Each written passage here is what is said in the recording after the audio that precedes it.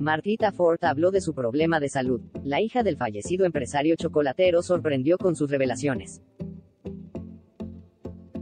Después del lanzamiento de la serie biográfica de Ricardo, su hija Martita Ford brindó una entrevista para Infobae, en donde contó varios detalles de su vida, entre ellos la enfermedad que la acompaña desde su nacimiento y que la marcó desde que era pequeña. Vos naciste con hemiparesia, que es la parálisis del lado derecho, le dijo el periodista, a lo que Martita Ford comentó, ambas partes las puedo mover excelente, lo único que al no estar afectada la parte izquierda, yo siempre acumulé más masa muscular en la izquierda. Sin embargo, la hija del fallecido empresario chocolatero reconoció que le tomó mucho tiempo poder superar esta condición. Martita Ford reconoció que tuvo importantes avances, ahora estoy tratando y manejando para ganar masa muscular también en la derecha, tanto del brazo como de la pierna.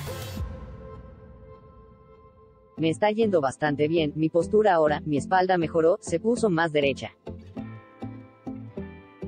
Eso se originó por una falta de oxígeno en el momento en que naciste, quiso saber el entrevistador, a lo que la joven contestó, sí, por eso desde muy chiquita, a los dos años, empecé kinesiología, operaciones, fui a China, miles y miles de estudios. Sobre los recuerdos de ese viaje a China a los siete años, ella relató, horrible. Yo sentía que estaba en un lugar que vos decís, ¿pero qué? Porque mi papá vio un anuncio en no sé dónde voy a China a hacer un tratamiento que no sé si me va a servir. Aparte yo me acuerdo que me pinchaban todos los días. Actualmente, no sé si me sirvió. Y cerró con las burlas que recibía, lo noté cuando vi que mis compañeros de primaria no eran como yo.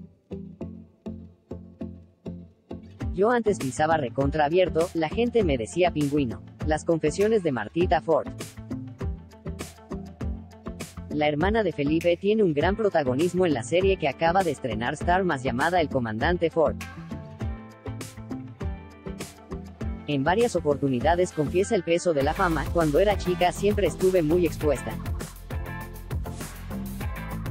Eso me hizo estar demasiado pendiente de todo lo que decían de mí, de grande me di cuenta de que era famosa y no lo sabía.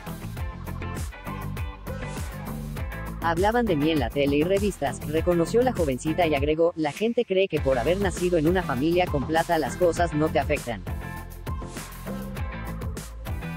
En cuanto a los comentarios que recibió sobre su cambio físico, ella asegura, me criticaron por gorda y después por estar flaca.